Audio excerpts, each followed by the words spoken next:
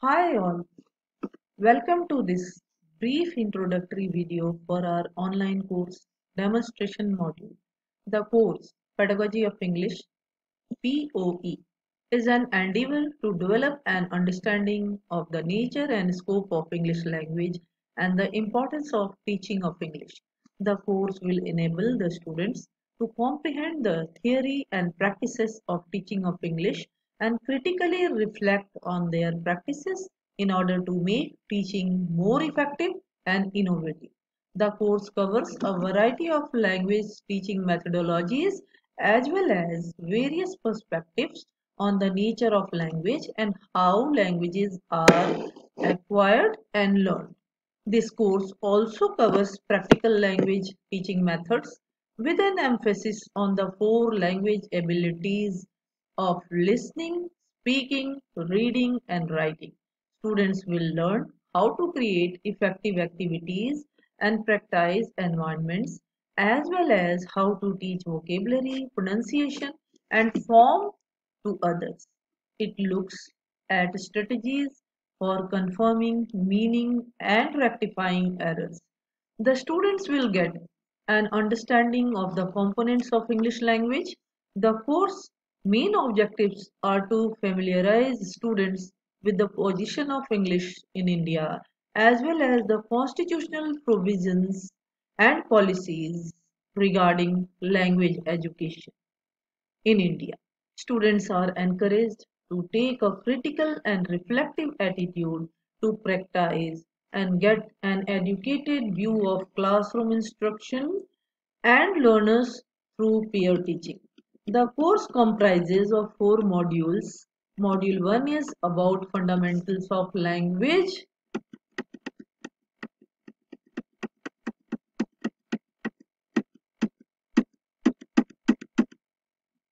It discusses the nature, scope and functions of language and gives an insight into the process of language acquisition and language learning.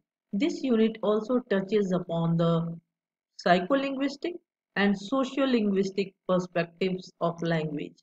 Module 2 deals with the position of English in India, the historical background of language teaching, English as a colonial language and English in the post-colonial era. It focuses upon the challenges of teaching and learning English in India, difference between language as a school subject and language as a medium of instruction is also discussed in this unit.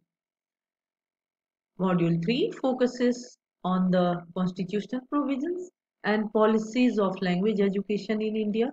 It highlights the provisions made under Article 343 to 351 and then again 350A of the Indian Constitution regarding English language.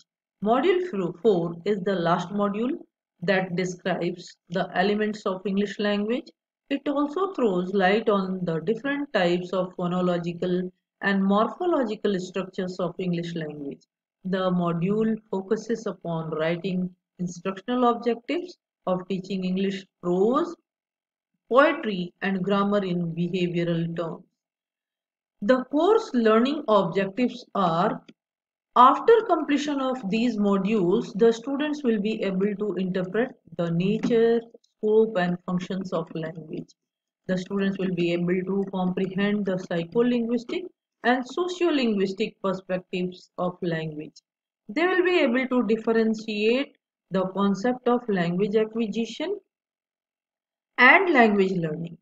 They will be able to differentiate between language as a school subject and language as a medium of instruction. They will be able to reflect upon English as a colonial language and English in the in the post-colonial era. The students will be able to explain the challenges of teaching and learning English in India. They will be able to reflect upon Article 343 to 351 and 350A of the Indian Constitution regarding English language. They will be able to recognize the aims and objectives of teaching English at secondary school level and then they will be able to develop clear understanding of the different types of phonological and morphological structures of English language. The students will be able to write instructional objectives of teaching English prose, poetry, and grammar in behavioral terms. In these modules, you have different activities that are meant to help students to achieve the overall course objectives.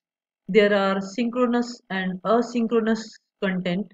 Many of the activities required in the modules are due by a certain date. The modules include readings, videos, and PowerPoint presentations and are very easy to navigate. The students are required to go through the content and to complete the quizzes and assignments given under each module. The students are also required to participate in the discussion uh, forums and question answer sessions. Learn and enjoy. See you online. Thanks.